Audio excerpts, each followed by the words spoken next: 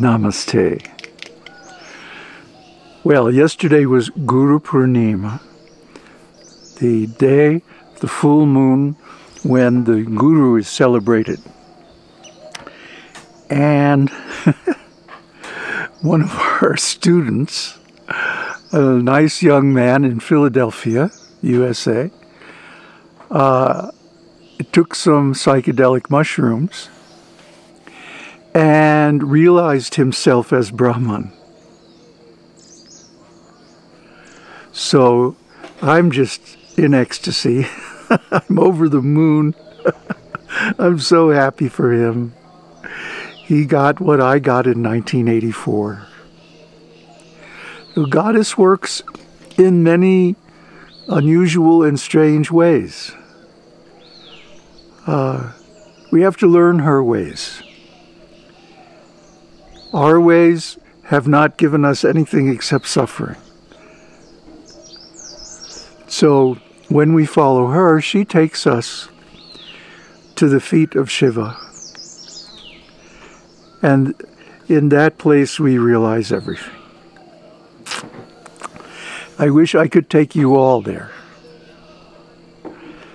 Now, this is not a blanket endorsement of psychedelics. Don't take it that way.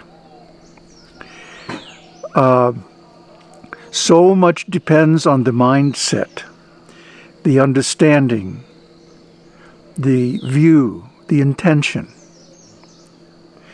That it's not like you drop mushrooms and automatically become enlightened.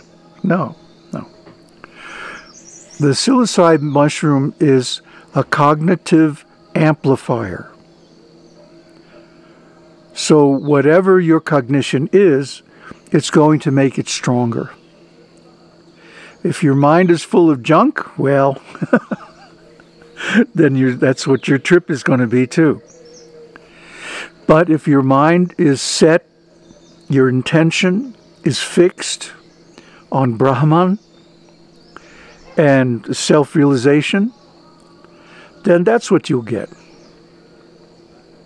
To give a small example, there was one passage in A Love Supreme by John Coltrane that I was trying to figure out as a musician, you know?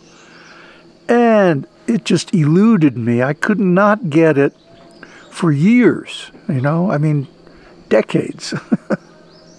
what the heck is he doing? So one day I remember I was I was up in Minnesota of all places. And I had some mushrooms with me. So I set up my keyboard, set up my uh, player, started to play Coltrane, and took some mushrooms. And within 15 minutes, I had it figured out. So there are certain things that cannot be understood in ordinary state of consciousness. Uh, Einstein famously said, no problem can be solved in the same state of consciousness as it was created in. In other words, we look at reality, and there's so much that's inexplicable. So we make a problem out of it. How is this working?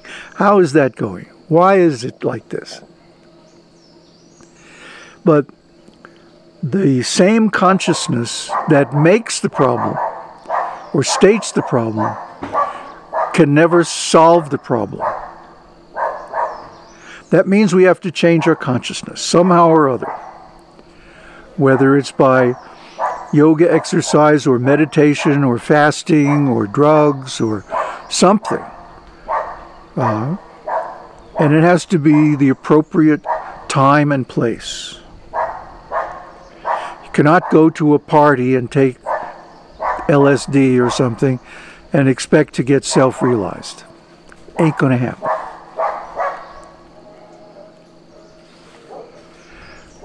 But what we can do is we can set up our mind and our intention to focus on the problem of self-realization and then transcend it.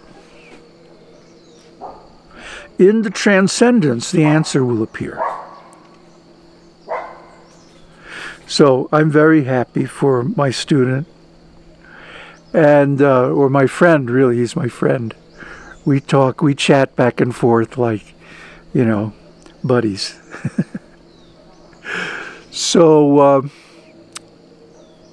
as once he gets settled, once the realization is uh, digested, maybe in a few weeks, I want to do a Zoom call with him and record it and uh, talk more about the details of his realization.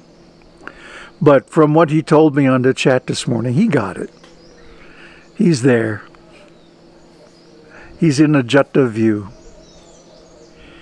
So I'm very proud of him. I feel I feel like a daddy, you know.